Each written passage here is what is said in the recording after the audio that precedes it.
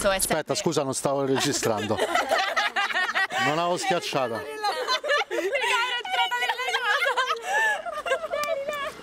Cosa pensate di Chiara Ferragni? L'ho sempre stimata perché appunto per me è sempre stata comunque una grandissima donna d'affari, molti la vedono semplicemente come un influencer che sponsorizza le cose, però secondo me è una grandissima donna d'affari. Questi affari secondo te sono sempre fatti nel modo giusto? Queste cose di beneficenza oltre lei succedono ogni giorno, non credo che lei sia stata appunto la singola a farlo. Secondo voi c'è invidia nei suoi confronti? Sì, Assolutamente ma sì. inevitabilmente. Comunque Chiara Ferragni, che appunto è tra le più grandi, ha proprio eh, un grandissimo lavoro dietro, che non si parla solamente di sponsorizzare una borsa, una marca, ma c'è molto di più che noi non sappiamo ovviamente non vivendolo.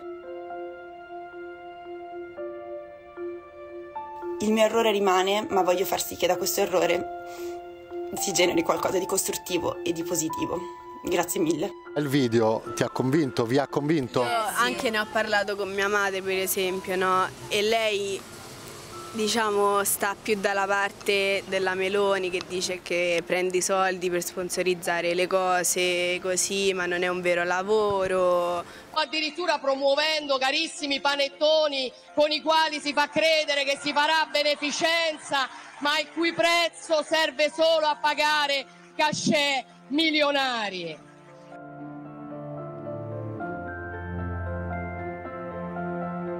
Secondo voi è un modello femminile positivo? Sì, anche il fatto che il marito cioè, non sia magari invidioso di lei, non la screditi e non cerchi magari di sembrare meglio di lei, ma esatto, si sono sempre supportati. Nell'Italia c'è, c'è ancora comunque questo concetto di maschilismo, eccetera, invece lei è quella che diciamo rompe questo modello, un modello che da molte persone, comunque la maggior parte degli italiani, non è ancora accettato, non è ancora capito. Chiedere scusa e dare concretezza a questo mio gesto. Devolverò un milione di euro a Regina Margherita per sostenere le cure dei bambini.